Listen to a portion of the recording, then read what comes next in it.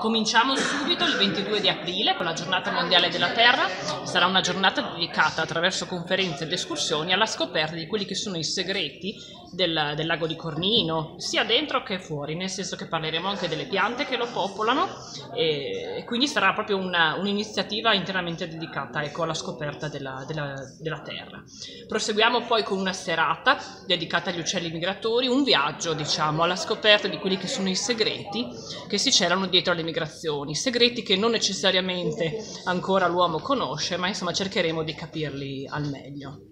Proseguiamo poi con quelli che sono gli eventi interamente dedicati ai bambini, quindi abbiamo il Griffon Day il 3 di giugno, evento che raggiunge quest'anno la terza edizione, un evento interamente dedicato ai bambini che prevede attività di laboratorio ed escursione alla scoperta di quelli che sono i parchi e le riserve regionali, ma anche le altre attrattive naturalistiche presenti nel territorio regionale.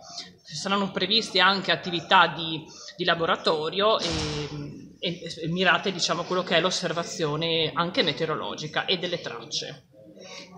Cosa si può trovare all'interno della riserva naturale del Cornino? Facciamo una bella pubblicità, promozione alle famiglie che vogliono andare a visitare. Ma la riserva naturale del lago di Cornino sicuramente è il, la meta ideale per la famiglia, in quanto preve, sono previste ed sono facilmente accessibili tutti quelli che sono i percorsi esterni, quindi attraverso una breve passeggiata si possono mirare quelle che sono le, le caratteristiche più salienti del territorio. Parliamo quindi del fiume Tagliamento, che è un po' eh, diciamo la perla no, di, questo, di, questa regione, così come il lago di Cornino, che invece rappresenta un po' la, la punta dei diamanti proprio della riserva. Il progetto Grifone sicuramente ha un ruolo rilevante in, in, durante la visita perché si ha la possibilità di, di, osservare e ammirare questi straordinari avvoltoi di quasi 3 metri di apertura alare. Quanti esemplari?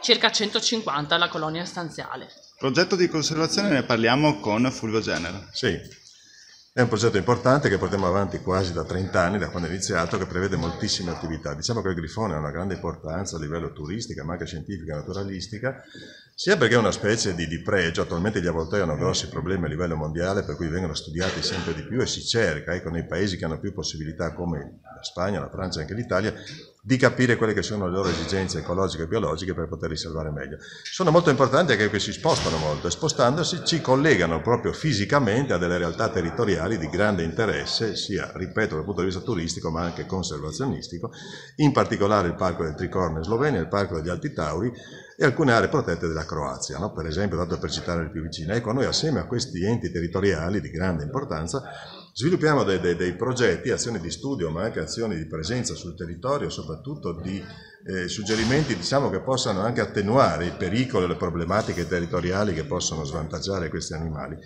E il progetto, già partito da alcuni anni, prevede lo studio degli spostamenti con la telemetria satellitare, spostamenti che però ci danno varie altre indicazioni su quelli che sono i posatoi, le aree frequentate, le sorgenti trofiche che utilizzano, eccetera.